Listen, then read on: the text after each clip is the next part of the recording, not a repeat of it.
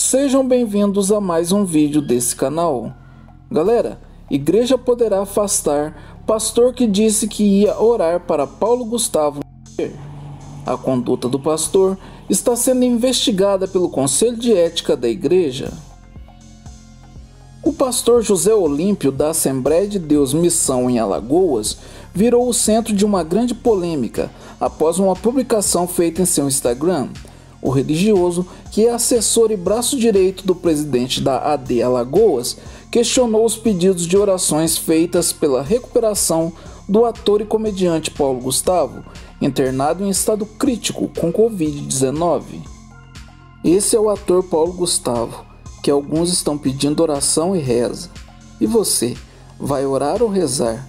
Eu oro para que o dono dele o leve para junto de si, escreveu o pastor junto a uma foto em que Paulo Gustavo aparece atuando em uma cena que se passa em um ambiente religioso.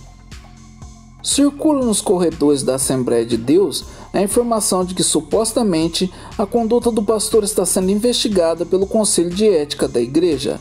Caso o conselho entenda que a conduta do pastor foi errada, ele poderá ser afastado do cargo por tempo indeterminado.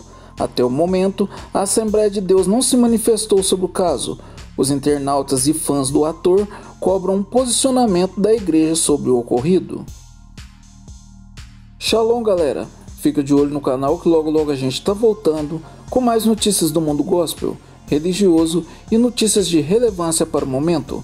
Deixe seu like no vídeo, compartilhe em suas redes sociais, se inscreva no canal caso você ainda não seja inscrito. Sua participação é muito importante para o crescimento do nosso trabalho nesta plataforma. Comente o vídeo 悄悄。